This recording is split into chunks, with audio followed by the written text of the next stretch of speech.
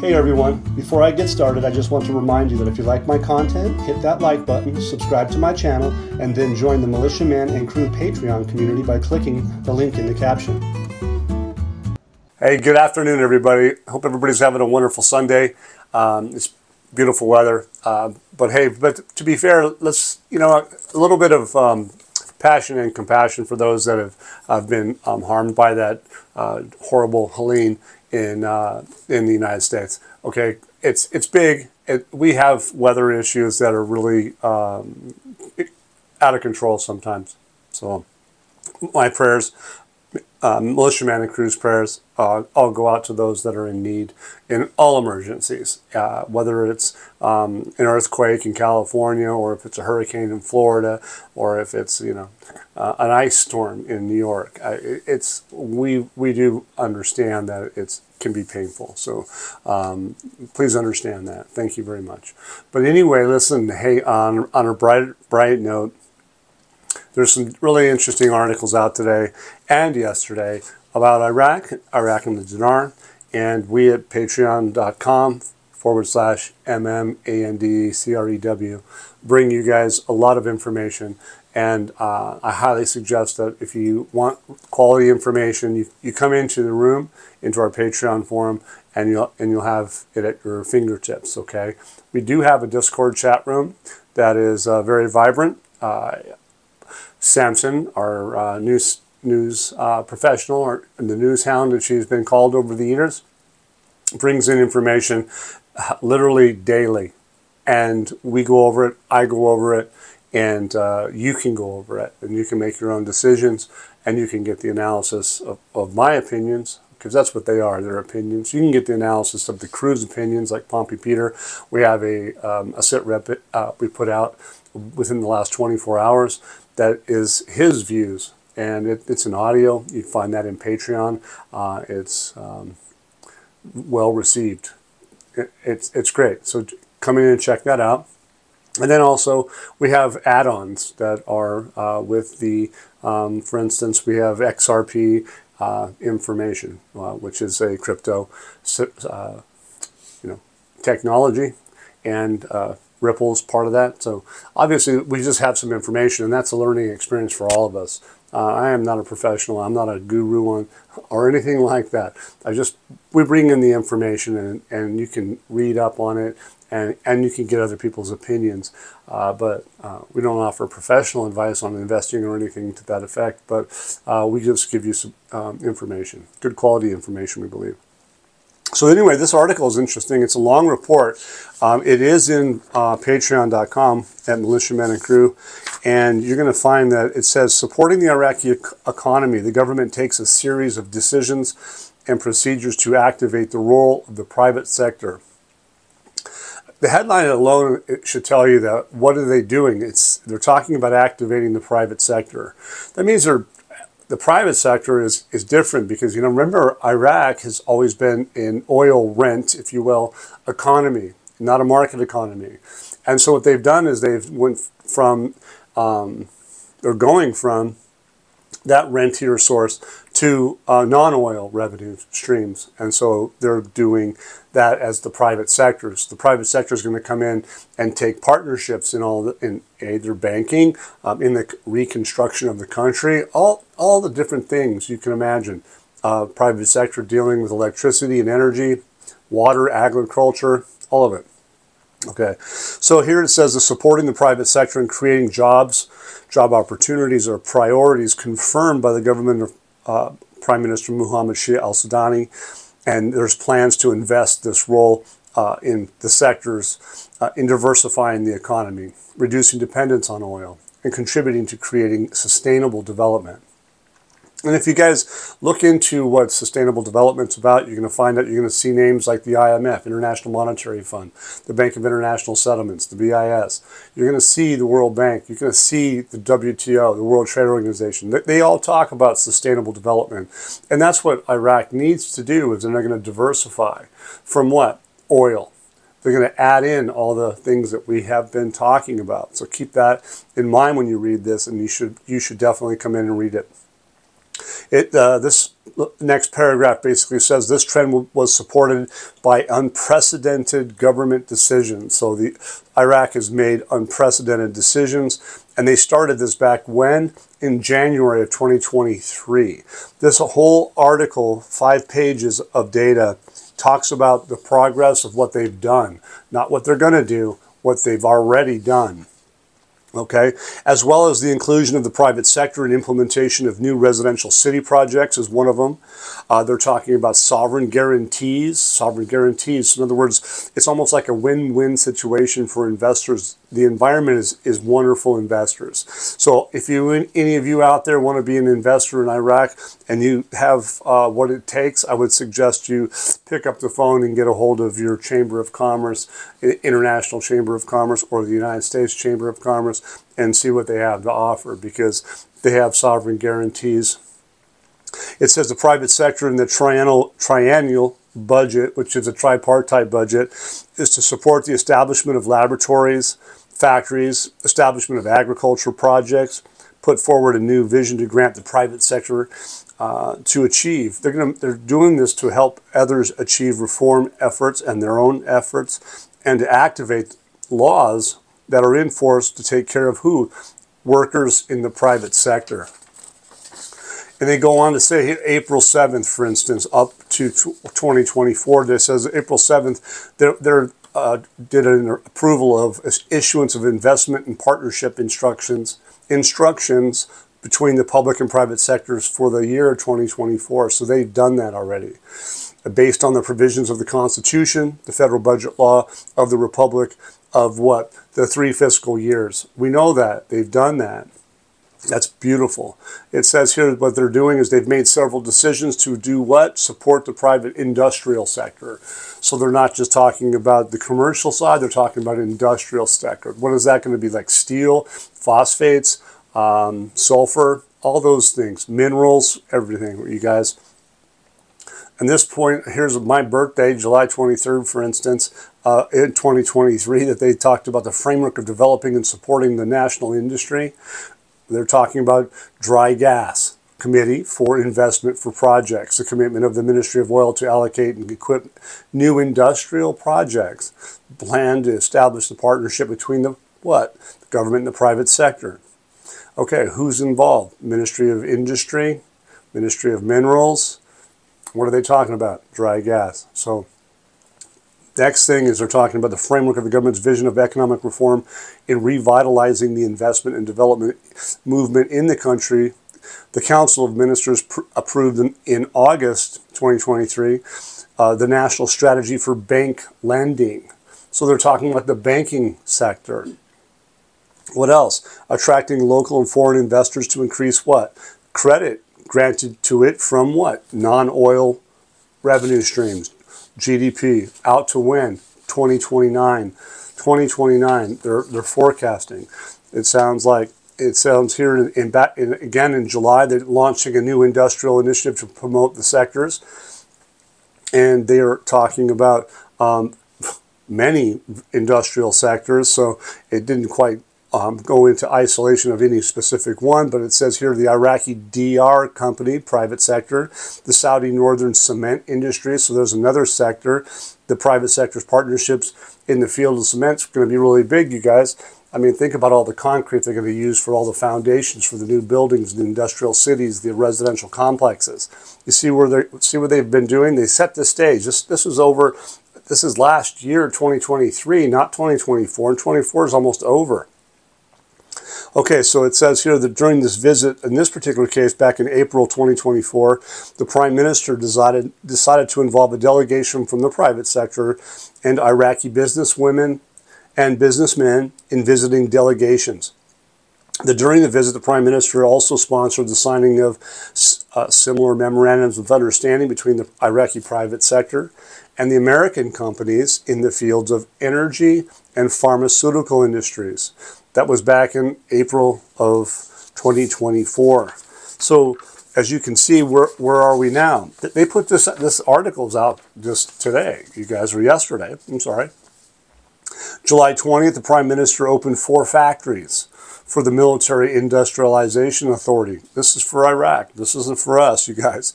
Including the electric vehicle production factory at the General War Industries Company. Okay. Partnership with who? Private sector. And then, I mean, it goes on, it goes on and on, everybody. And um, they're talking about other countries, Egypt, for instance, Jordan, Iraqi Jordanian. It, they're all having look, these guys, everybody knows that Iraq is going to be the financial, um, well, it said back in September of 2023, around this time frame, that Iraq was going to be effectively the savior of the, you know, international financial system is going to provide, uh, bring what? Confidence to the financial system in the largest banks in the world. Okay, this, and so what, what have they done? They've been working on this to do what they said they were going to do. The Ministry of Transport signed September uh, 3rd, 2023, an agreement with the International Financial Corporation, which is what related to, um, I think that's the World Bank, you guys, to rehabilitate and develop Baghdad International Airport. The International Finance Corporation included consulting with development of the role of the private sector in enhancing its entry into the public services arena, partnership with the public sector, and sectors facing future challenges. Look, the list of accomplishments under Al Sudani and his teams is nothing but stellar. They've been hard at work at setting the stage for international cooperation and coordination with the private sector. As you guys, I just spelled it out pretty blatantly. It looks like the foundation is now in place and will be holding and will be a strong footing for Iraq to start on. So let's look forward to seeing um, this uh, real effective exchange rate that will have to be uh, applied at some point in time uh, here in the near future to uh, make sure that this gets uh, that that footing is indefinitely in cement. So, digital banks, digital transformation. Here's the article. The next phase of digital transformation in the Egyptian sector. I just mentioned Egypt. It says, with steady steps, the central bank continues to implement the banking reform strategy. One of the main objectives is which to achieve digital transformation in the banking sector. This dates back to as early as they, they started this process in 2017. It says, which included the first, second, and third stages that far back, right? So during the past two years, Al Sudani has been in office, right? Uh, cooperation between the government with the personal support and follow-up of the Prime Minister and the central bank was a fundamental step to activate and accelerate the digital transformation in the government and a transition from a cash economy to a digital economy. They go on to say that the developing information technology, by developing information technology, establishing digital banks, using artificial intelligence in the banking services, and using modern technologies in loans, compliance, risk management, combating money laundering, terrorist financing, and com combating uh, banking fraud. All of those things. What are they doing?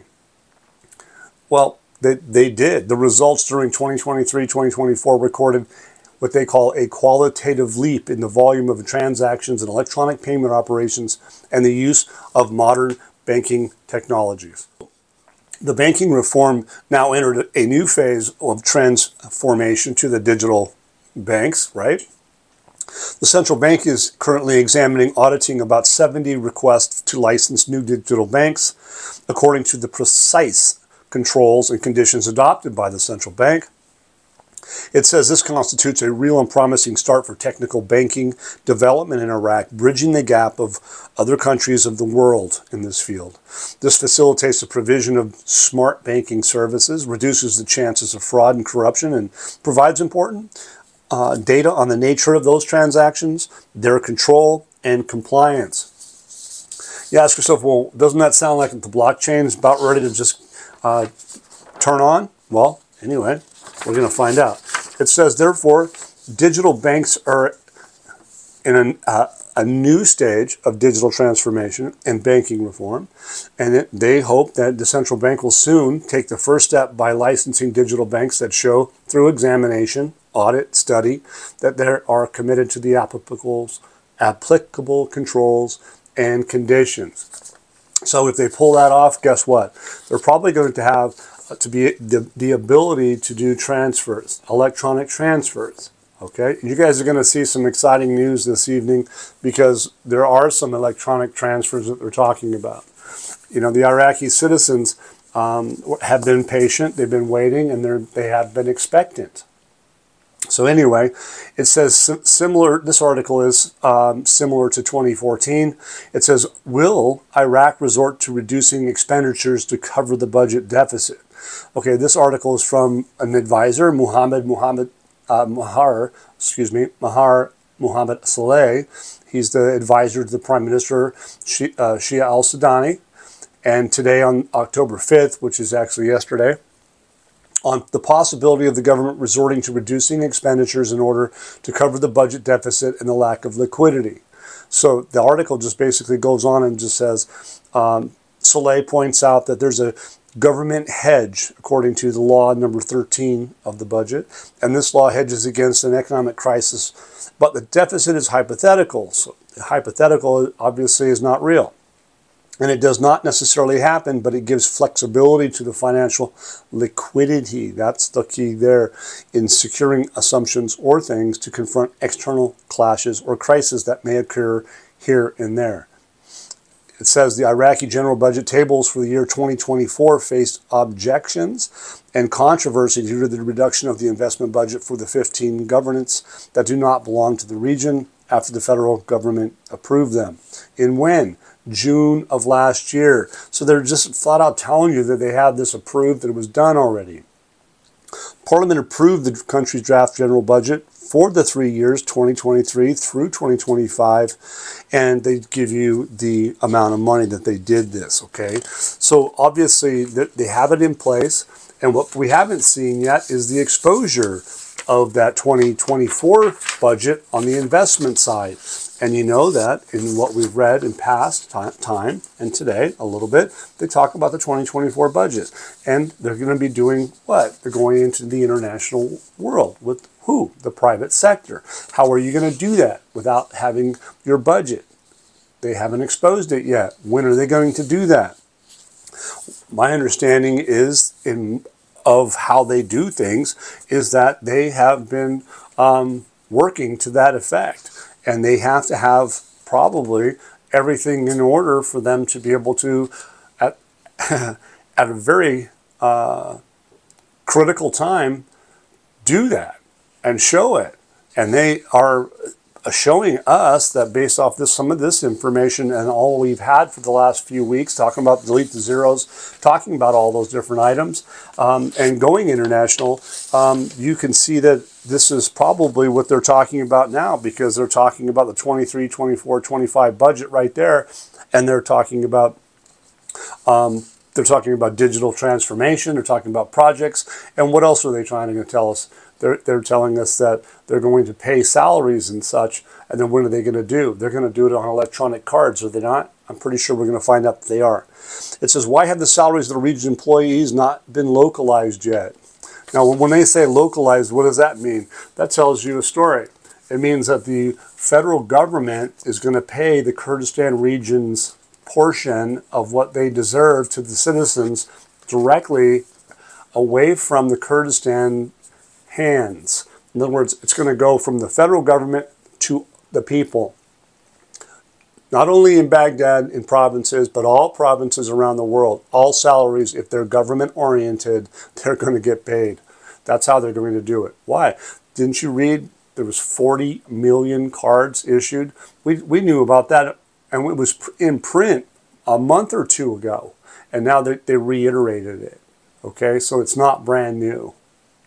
Okay, so it says the framework parties are preparing for the upcoming parliamentary elections in 2025. And they're, who are they?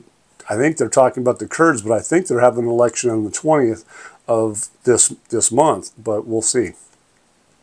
It says a new alliance to form the next government with the main ruling Kurdish parties, and they're distancing themselves from the problems of the region's employees' salaries. So as to not clash with those parties in the region. It says the main reason for the Kurdistan regional government not localizing the salaries of the region's employees is the fear of the main parties in the region that employees in civil, military, and security institutions will be released from the grip of these parties and the people's lack of interest in these parties after their source of livelihood was liberated by localizing their salaries directly from the Iraqi state. So, in other words, all of a sudden, uh, there could be a shift in the thought process uh, since you're not holding me hostage with my my salaries, the government of Baghdad effectively is going to have control of my my money. Um, they may not be so open to be voting for certain parties. That's what they're telling you. It's that is fascinating, you guys.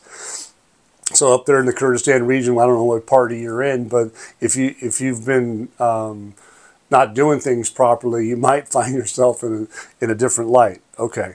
It says here there are major objections and problems regarding the issues of localizing salaries for the Kurdistan region's employees, possibility of the regional government uh, intervening and benefiting from it. That's what I just said, especially with the recent clarification issued by the federal Supreme Court.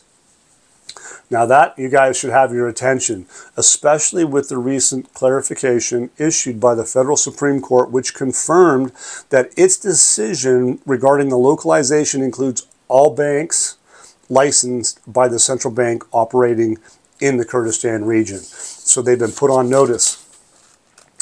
And basically, as far as my view is concerned, the Kurds better get ready uh, in taking care of the citizens and fairly from here on out or they will not likely fare very well politically.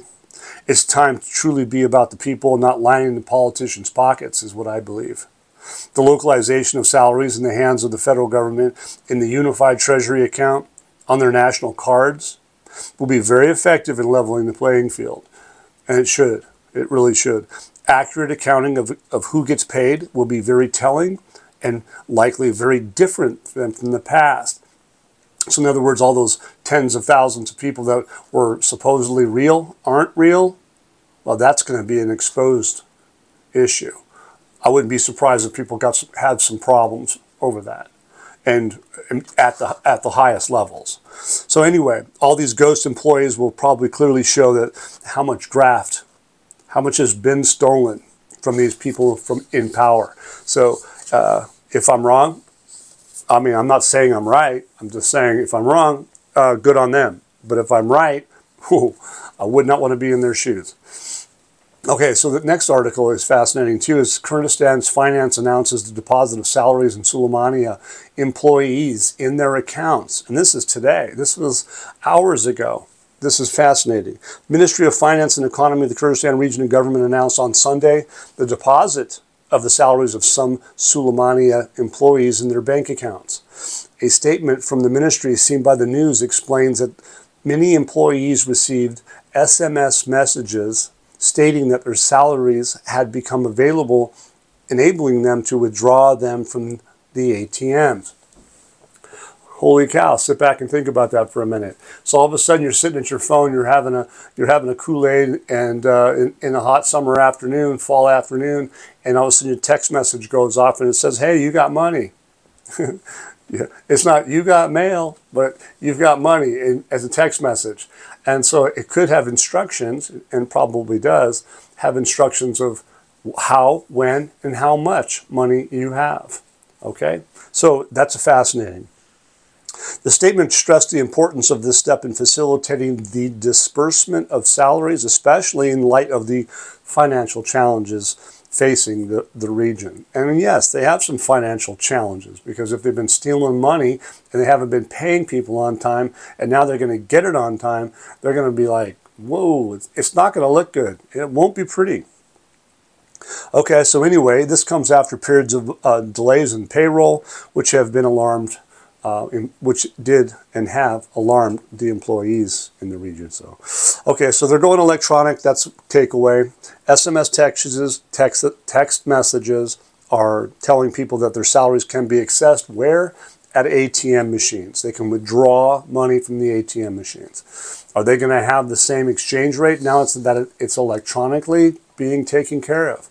That's what we're looking for. We're going to find out. They didn't say they paid them and to, they have it ready for disbursement, but they haven't said they cleared the money yet. So we're going to be um, be patient, be optimistic, but yet be guarded. Okay, um, we'll we'll see how this turns out, and I think it's going to be powerful. Uh, the Ministry of Finance discloses the opinion of board, the development of financial performance, and confirms the implementation of the recommendations of the Council of Ministers. That's the headline of that this particular wrote, uh, report. Excuse me. Uh, statement from the Ministry of Finance as received by the news networks.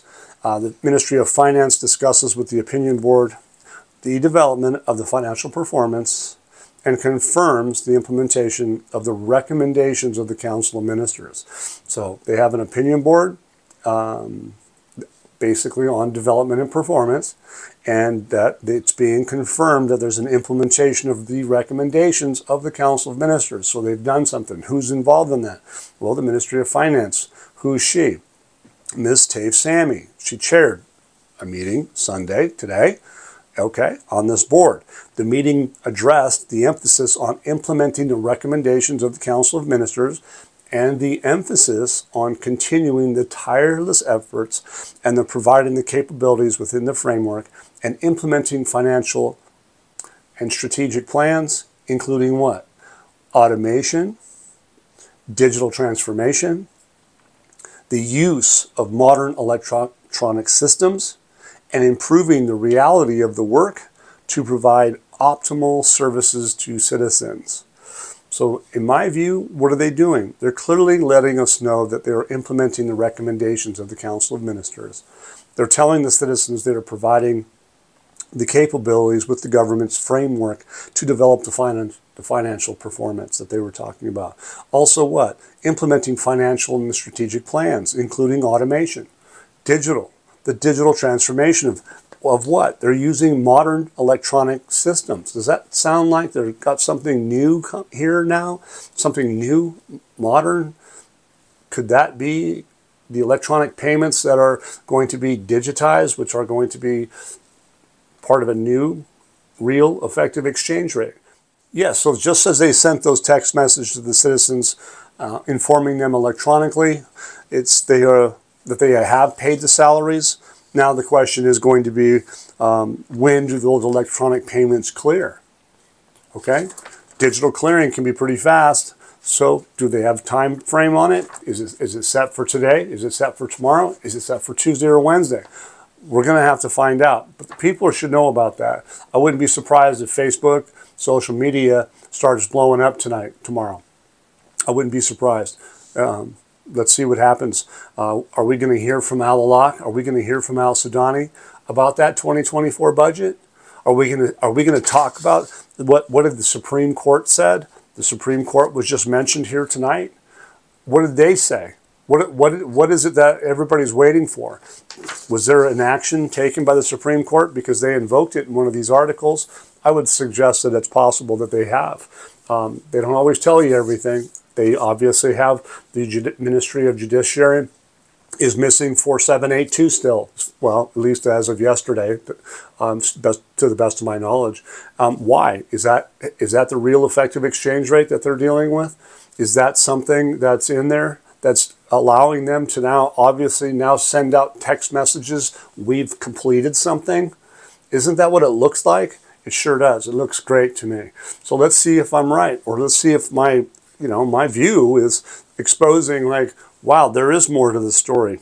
Okay, we have been watching this unfold. We have been in this study with militiaman and crew. Okay, we have been doing um, our diligence with the news articles. We haven't been making the stuff up. We've been showing the data, and let's see if it turns out. But this really looks sweet, everybody. I think what a weekend, what a Sunday, beautiful day going into next week. Let's see what they show us. Let's see. If, let's see if Al Alaq and Al Sudani, Taif Sami, Ministerial Council of Economics uh, breaks out with some, just some, what we've been waiting for. Let's see what happens, you guys. So hey, listen. By the way, if you guys hit my like, hit that subscribe. Um, I do appreciate that, and thank you so much for all your guys' donations. Everything helps. All of it does, and has truly helped keep Samson, uh, Gigi, all of us working and uh, helping you help us. That's the main thing. So thank you very much, and I appreciate it. And uh, we have Zelle, PayPal, and Venmo. So um, much appreciated, everybody. Once again, guys, don't forget to hit that like button if you like this content, subscribe to the channel, or join us at the Militia Man and Crew Patreon community for even more exclusive content. You can also donate to this channel by hitting the links in the banner to help keep this page up and running. Your generous support is greatly appreciated as always. Much, much appreciated. Thank you so much and have a great day.